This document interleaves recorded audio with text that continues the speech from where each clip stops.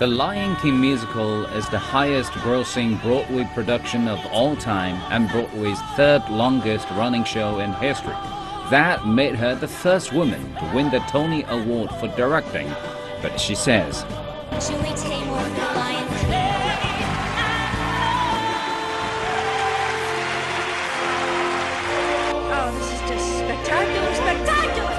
I wouldn't have been interested in working with Disney, quite honestly. It wasn't my thing at all. The world, it's not, it's too commercial for me. Mm-hmm. She transformed the popular animation film into a sensory, breathtaking spectacle for which she also won the Tony Award for Original Costume Design.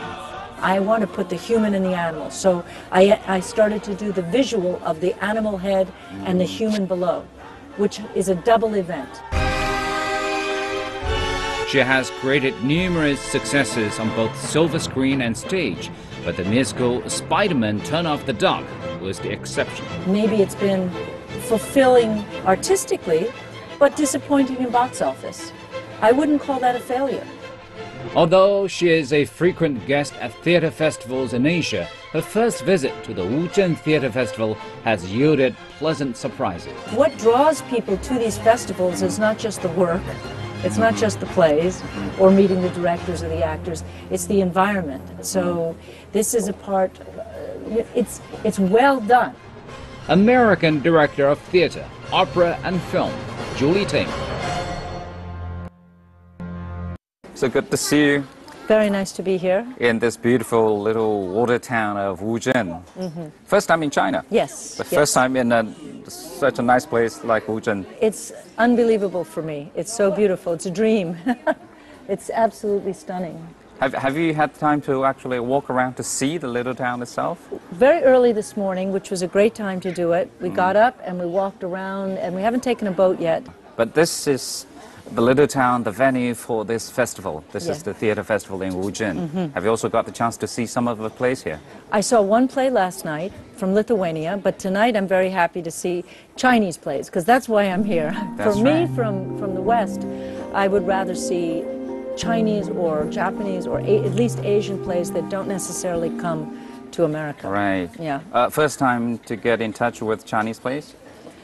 No, I actually saw one of Stan Lai's plays in New Jersey last year. When, A that's when I met him. Uh, No. What was it called? No, not the Dream one. Not the Dream one. Uh-huh. Not the uh, long one, the No. eight-hour play. No, not that Uh-huh. one. I heard about that one. Right. I want to see that one. Right. But let me see if I've seen any other. Uh, Peony Pavilion. There's been some that have come to Mm. to the Lincoln Center Festival. So, but not much. Yeah. Well, this is a new, a young theater festival. It's only in its third Three year. years, yeah. Yeah, but uh, we can kind of feel it's their ambition, you know, to It's very impressive. yeah make it one of the major ones in the world, in, if not another Avignon, but basically a major one in China. How do you see this? I absolutely, and I don't know why it's another. It should be another Avignon. No, I don't think that's a problem, uh. because I think as China has opened its arms to the West and also to other cultures, people will love to be able to come here mm. because it's very beautifully restored. Mm. So, like Venice, I've been to the Venice Film Festival. I've been to San Sebastian Film Festival. When what draws people to these festivals mm. is not just the work, it's not mm-hmm. just the plays mm-hmm. or meeting the directors or the actors. It's the environment. So mm-hmm. this is a part. Uh, it's it's well done. I know there's a lot of tourism and all of that, but still look at it. It's absolutely beautiful to look at. So this gives people a feeling. I think the experience of seeing various aspects of China is very important. That's true. Yeah. I mean, one good thing about it is this is a little town where you can see theaters, you can see plays inside theaters, but at the same time there is a carnival event going on. So you, actually you would just bump into plays, you know. I just did crossing the bridge. You did. Yes, yes, I just did. It was gorgeous. Traditional late opera, you. right? the gongs, right? Yeah, it was beautiful. Yeah, and also you see people just uh, passing through while we are having this interview right next to this canal over here. Right. And this is, you know, the liveliness about having a, a, festival maybe in a little town like this. I think the humanity is the important thing about theater. And there's a certain fear people have of China being so big and overwhelming. So this, this creates an intimacy. where people will have a very easy time meeting other people. That's really critical in a festival. Is you sit in a bar or some of these restaurants, look, there's only two tables. We went in, and Mr. Shu over there went to see what they were eating. You know, you don't do that in a big restaurant. He said, "Oh, that looks good," and they were saying, "You know, this dish is good. That okay, we'll have that." Just two tables. That it's a it's a unique experience. The sense of intimacy. Yeah, intimacy is very important. Well, you said this is your first visit to China, but I guess you're not new. Not at all. You spent a few years in Indonesia. I spent four and years. in Japan. Yes, yes. I And- spent my young, early 21-year-old days in Indonesia, and uh, I went for three months and stayed four years. So watch out, because that's a problem with me. I can, I can fall in love with a place and then want to want to stay and work there. Uh, yes, I had a fellowship when I was just graduating from college, but I also had been in a theater company, and it was in visual theater and experimental puppet theater in Eastern Europe, Indonesia, and Japan. Mm-hmm. Because Indonesia and Japan have one of the, both have the oldest forms of puppet theater, the bunraku in Japan and the wayang kulit, mm-hmm. which is the leather shadow plays in Java and Bali. And in the West, puppetry was always kind of a children's art form. And in the East, it's especially in those two countries, maybe here, I just, I'm not as familiar, mm-hmm. but it's considered the, one of the finest, most respected, revered art forms, and it's actually related to ancestor worship. That's The, true. the Bayangan, the Wayang Kulit is ba- from Bayangan, the word, and those are the ancestors. So the shadows were the ancestors. Now it's more of an entertainment, but it's still locked up into in traditions, and um, that was very exciting for me as a young theater maker to see. You, you, you studied folklore, you studied uh, traditional puppetry art in, in Japan, in, in Indonesia. How had, have that been influencing your career later on in theater? I think a lot of Western theater makers, even Brecht, uh, obviously Artaud, um, many have been inspired by Asian theater. It was amazing to see theater function in its original form. And what I mean by that is it was part of the village culture. You could be a farmer, a tailor, a school teacher, but you still played the gamelan or you performed.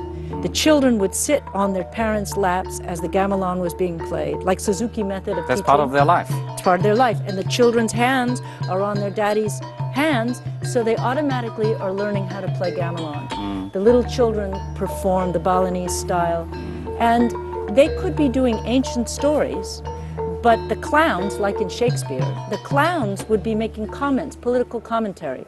I think those four years in Asia, I, I traveled even more to Thailand and mm. Singapore, just missed China, but Yeah. um, those years were very formative. They're, they're, I call, it's like, I use the word fire a lot because you get transformed in the fire. So it's very difficult, mm. but also transformative years for me, very mm. important years that I constantly can go back to. Chinese artists are also trying very hard and working very hard to try to incorporate all these traditions into their artworks actually. And sometimes and probably they haven't found the perfect way to do so. Like a few years ago we had that you know uh, kung fu panda. Once again people were asking how come and you have the Chinese Great Panda, but at the same time, this is Hollywood production. You have Mulan, Hollywood production, Right. and you have all these elements, a foreign production. What do you think is the key in, you know, incorporating all these traditional culture, cultural elements in a modern art production? Obviously, your traditions inspire other people, and that's perfectly okay. So for me, technique, technique belongs to the world. Hmm. You can do ballet here, but your soul of the ballet, how you do it, has to be your soul. So it really is more about how the individual artist or the company is invested in the work. It can't just be mimicking. You mm-hmm. can't just pick up and do a Broadway musical and make it. You shouldn't copy.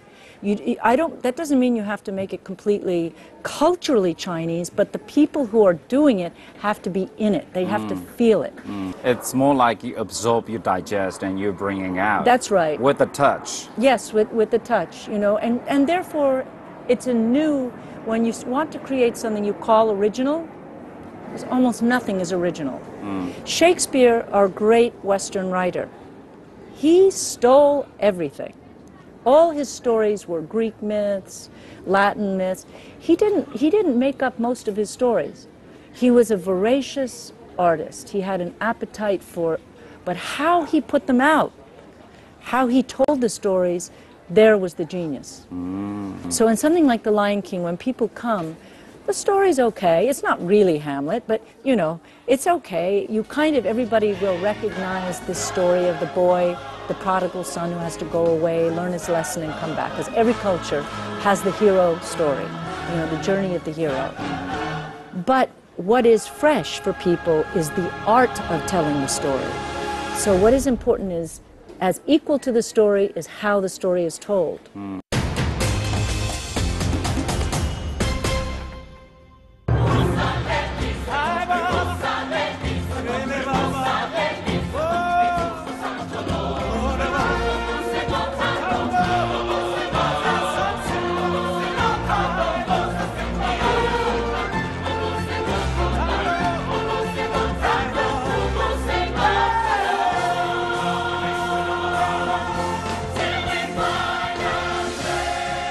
Let's talk about Lion King first. That was uh, the project actually you were very much known for now these days in China, but that was not your first project. Basically, you, you you've done that. I mean, long long before that. Yeah. But almost it seems to me it's almost you were waiting. You were already right there for that project, and that project won you Tony Awards. I mean, how, how did this all happen? I wouldn't have been interested in working with Disney, quite honestly. wasn't my thing at all. And I was animation or No, no, in just the, the, the world.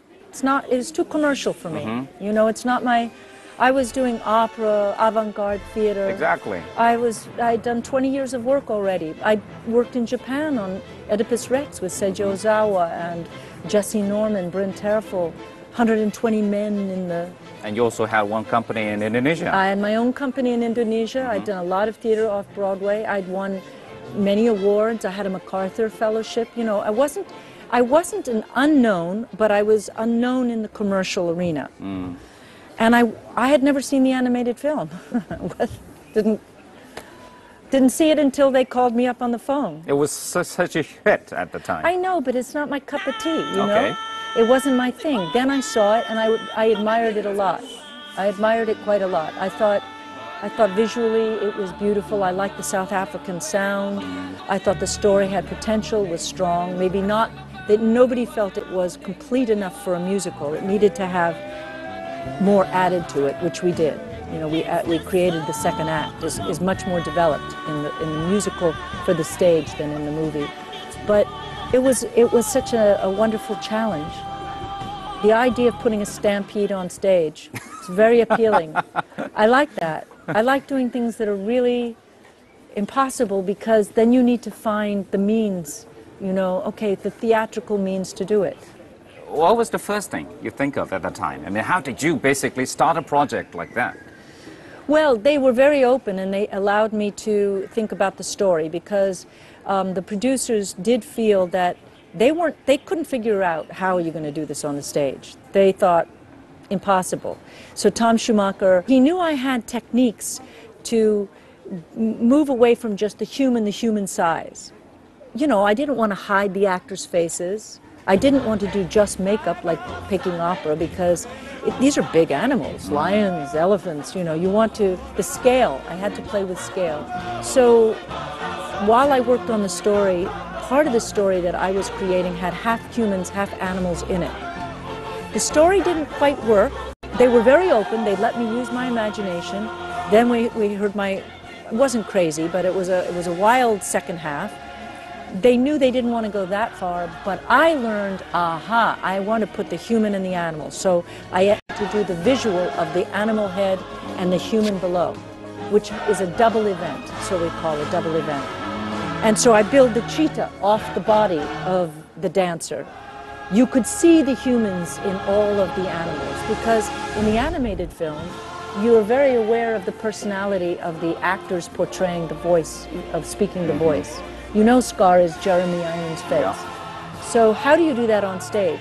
You allow the human face to have makeup, extreme makeup like kabuki or Beijing opera or whatever, but this becomes the animal, and when they bend over, they become the aggressive, more, more animal animal. So I, I, I had to, the story plus the technique was moving along at the same time. So when had all these figures, characters on stage, design, everything, everything else just came in the right place. Well, it was a magical time. It was pretty amazing. I designed the costumes, I sculpted the masks and puppets. I worked with Michael Curry on the tech technique. Um, I, I was able to hire a fantastic set designer, and we worked together. It's a, it was a two-year development. It takes took about two years, even though there already were five songs from the movie. Then we added another 10 or 15. Lebo M, who had done the background music from South Africa, became foreground. The South African choruses, which were background, mm-hmm. they, when you're going on stage, you're going to see the chorus. So they become very big personality. The chorus is equal. Mm. It's a very important part of The Lion King.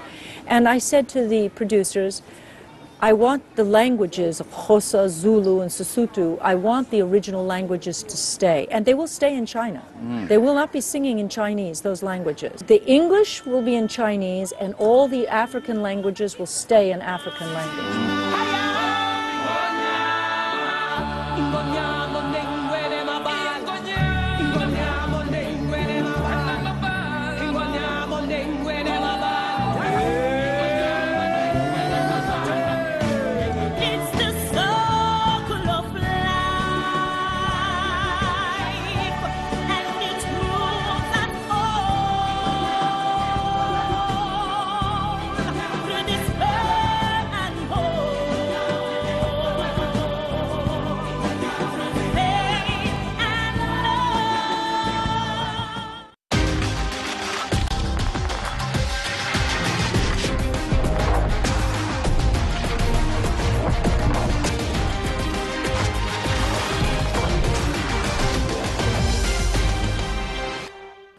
Also mentioned earlier uh, Shakespeare. You actually had quite a few adaptations of Shak- Yes, Shakespeare's yes. works. And what is the um, the core in adapting Shakespeare's works? And everyone is, is doing that. Basically, we see different Shakespeare's plays on different stages anywhere. Yes, but Shakespeare, this is the one statistic that I like. He's the most successful screenwriter in the history of the world because there have been 900 films of Shakespeare. 900 films. Japan, Russia, all over the world, Africa, you know, everybody has done Shakespeare. What I love about Shakespeare as, an as a writer is that he tells very complex human stories complex. It's not it's not like today in the Marvel comics, the good guy is the good guy, the bad guy is the bad guy. These ancient these stories that Shakespeare writes, the protagonist has many levels. Sometimes you love him and then it's like Breaking Bad. And then which I think is very Shakespearean. Then you go, he's a monster. Titus is like that. He's the good general who comes home from the war successful. They want him to be the emperor. He says no, and by the end, he's baking his enemies' children into pies. You know, he becomes this incredible monster, madman. And you say, how did a writer do that? You don't know who to identify with. This is why we love Shakespeare. Very complex. We can all be the good or the bad. We have all the potential inside us. Humanity is shocking. We get shocked when we see uh, what humans are capable of doing. But beautiful stories are written actually hundreds of years ago. I mean, when you adapt all these stories to a modern audience, what do you do? Humanity has hardly changed. So again, it's like how does the story that is an ancient story of humanity gets told by the artist in a fresh and new way? I think Shakespeare is contemporary for all times. That's why he can be adapted into contemporary dress with still the great language.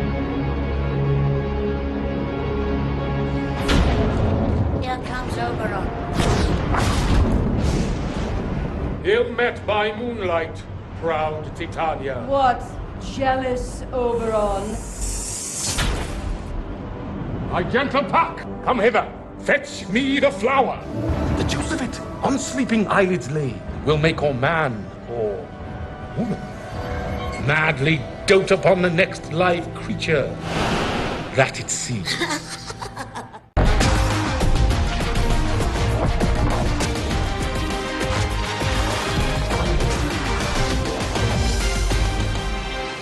So you're a director for the musicals. You're Yeah. a director of theater, director of opera, director of films. Yes. Do you have an order for all these different roles? I like what each medium offers me. So in grand opera, the scale is incredible. The music, the orchestra, the voices.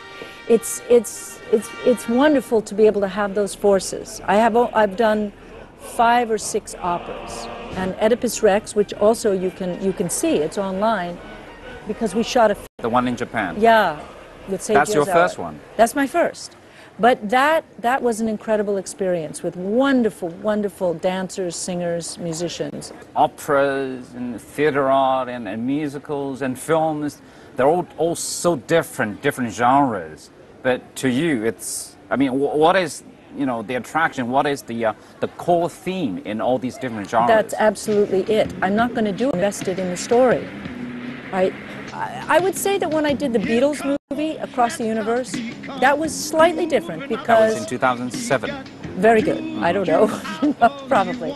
And I'm trying to do it on the stage in the future. I really want to do a stage version of that musical, movie musical. So it started in a movie. But clearly, it wasn't the story that brought me into that. It was the Beatles, the Beatles music.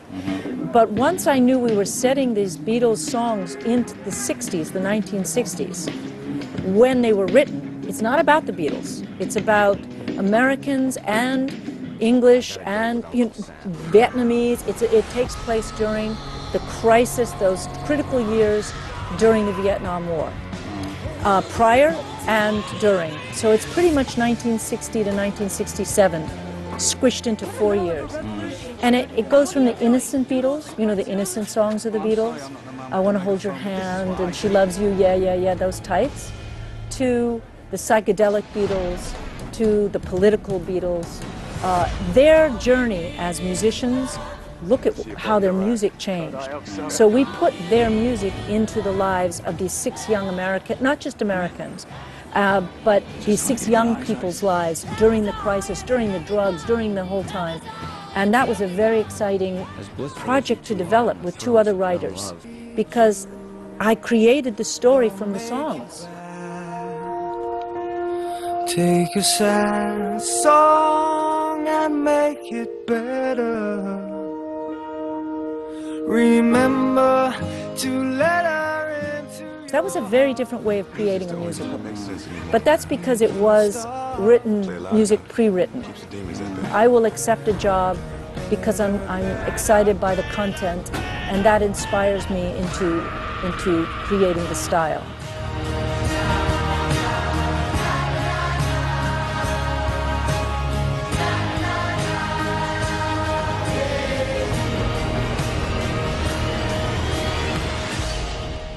If we look at all these projects you've done, uh, award-wise, it seems you have a very high success rate. Basically, you you do films, you win Oscars. You do theater art, you win Tonys, and then Emmys. And is there something magical there? I mean, people will be No. asking, what's the key to your success?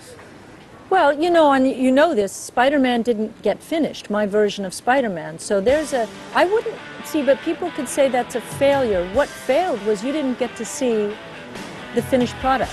That's sad for me because I still believed in what we were doing. But there are many circumstances that make something fall apart, fail. We don't have to go into that now, but even with what would be perceived as a failure, it's a tremendous life experience. It's a tremendous life experience. It's, it's part of what an artist has to go through. You can't just have one success. And people don't want you to have one success after another. So that's part of what happens is that there is, oh, how can everything work? But you know what? Everything doesn't work. Not every project I've done has made money. It's been fulfilling artistically, but disappointing in box office. I wouldn't call that a failure to me it's it's really did you fulfill what you started out what your vision was did were you able to complete it um, and that is when with, with something like Spider-Man, which we didn't get to finish it for all the circumstances, that I think is sad. So not everything, you know, not everything has been rosy, happy, easy.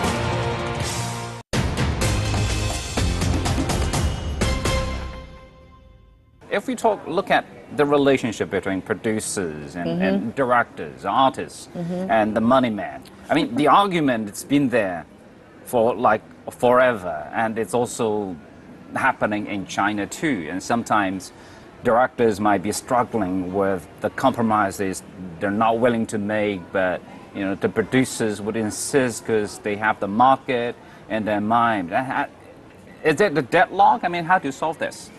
Well, you know, it's always been that way since Amadeus. You know, I mean, it's it's been that way before. That that if you're going to involve money, no matter small or big, there's going to be compromises. Artists are constantly compromising, but that's okay.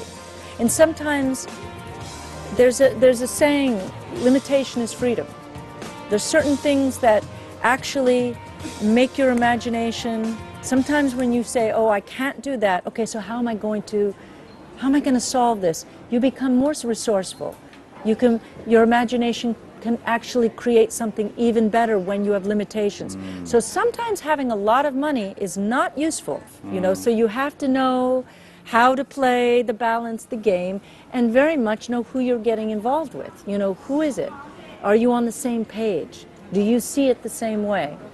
And sometimes artists are so hungry to get the money that they get involved in the wrong projects, but then you can't complain later. But your, yourself and your own interest. I mean, it seems you would do all these different Medium? subjects, different Yeah. mediums. I mean, how do you choose them? What, what form of art? I mean, what subjects? What themes? Um, let me see, I have 10 projects that I'm, because it's not that I want to do 10, it's just that even at this point in my career, it's still difficult to get money for projects. Even for you. Oh, yes, absolutely, never changes. Because the kinds of things that I want to do push the envelope. I don't, I, I turn down a lot of Hollywood movies or things that I say, ugh, I've seen it already. It's not, it's boring. I don't want to spend two years of my life on a film that's not going to move me and, and, and, and challenge me. It's, it's, I get excited, I get animated when I go, wow, how do I do this? How do I create this? Well, basically, this time around, you don't have a play here uh, for the festival in Wuzhen. No, I don't. But I guess this is sort of working as a little play, as all these passers-by, they're watching us It's a during this theatrical interview. moment. Basically, exactly. But if you're going to bring a play to Wuzhen, Mm-hmm. maybe next year, I hope so. That would be wonderful. If I do one in New York that you can pick up and bring. haven't decided yet, but we we have a lot to look forward to actually Thank in you the so future. much. It's Thank been you so much for your time. Thank you. 谢谢。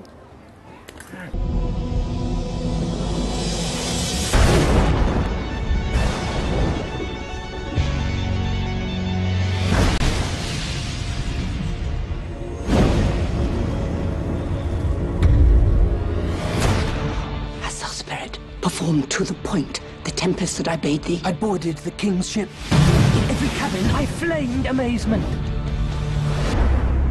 I will flay them all, even to roaring. I have made you mad.